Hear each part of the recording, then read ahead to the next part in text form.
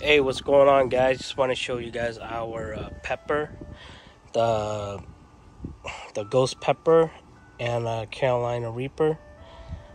We got this from flea market for ten dollars uh, a few months ago, and um, it's in a grow bag, fifteen gallon grow bag, and it is possible to grow fruits and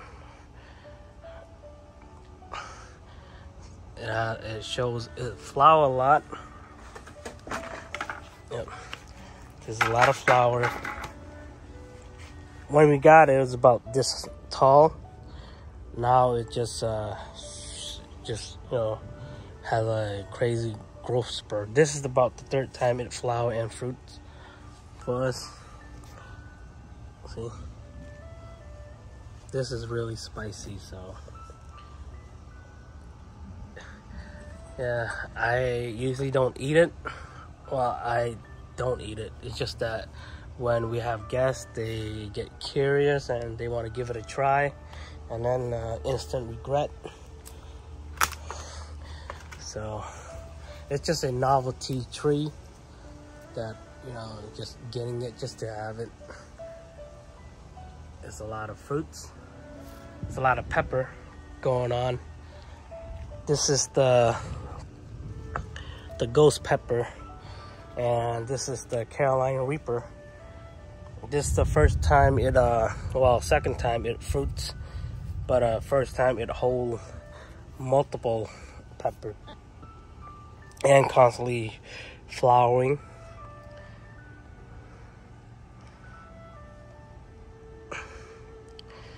Yep. Yeah, we usually don't eat it uh, but you know, when we have guests, they become curious and they want to give it a try. And like I said before, instant regret. Yeah, just have it just to have it for the no novelty plant. You know, something it's good to have. See, it's constantly flowering. Fruiting. It's a lot. See here too, hiding.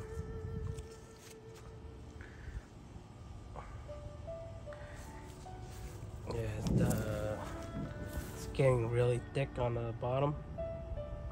Just happy.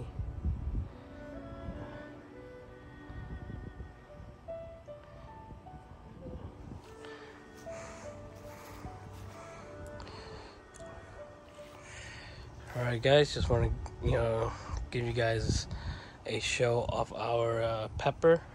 It's in a 15 gallon grow bag. All right don't forget to like comment and subscribe. Have a good day. Looks like it's about to rain